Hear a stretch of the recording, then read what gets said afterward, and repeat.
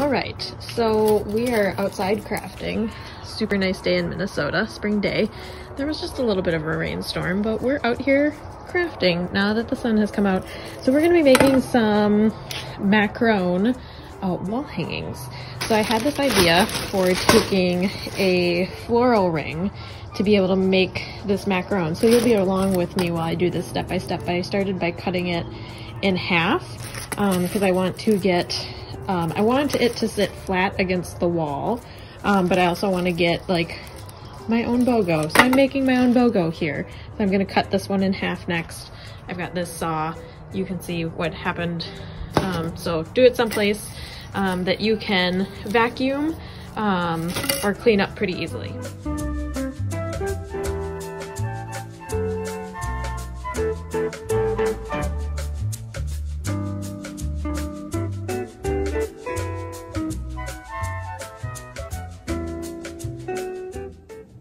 All right, so circling back to uh, I'm making big macarons.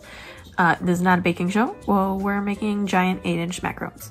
So, uh, we were cutting the, uh, floral foam in half. So then I went ahead and, uh, just kind of stretched some felt across this. I used some tacky glue on this side and then I did a pretty consistent staple to get a nice kind of tight stretch over that.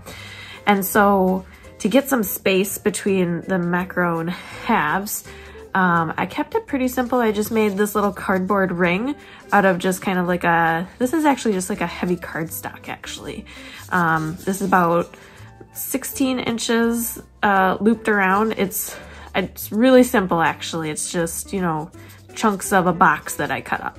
So what I'll do with the hot glue gun is, you know, just hot glue the heck out of that and then go ahead and put the the top bit on. This isn't literally the one that I'm gonna do, but just for reference, you know, just put glue this on and then glue the top half on with the hot glue gun and then stuff it with the the polyfill so that you get this effect because this one is finished, but then you get that nice kind of full fluff look.